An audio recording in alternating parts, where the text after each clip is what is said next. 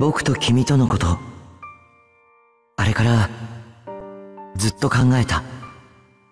君のことが好きだ。それなのに、君と会うと僕は、君を傷つけるようなことを言ってしまう。それはきっと、僕が君にある種の劣等感を抱いているからなのだと思う。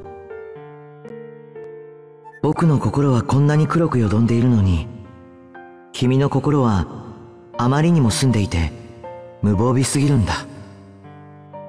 このまま君のそばにいると、いつか僕は取り返しのつかないくらい君を傷つける。そう思うから、君を傷つけるのは、このメールで最後にしようと思う。僕のことは忘れてほしい。もう、君とは会わない。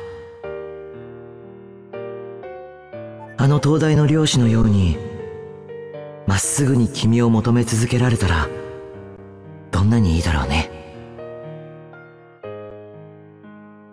多分、君が想像する以上に、僕は君が好きだ。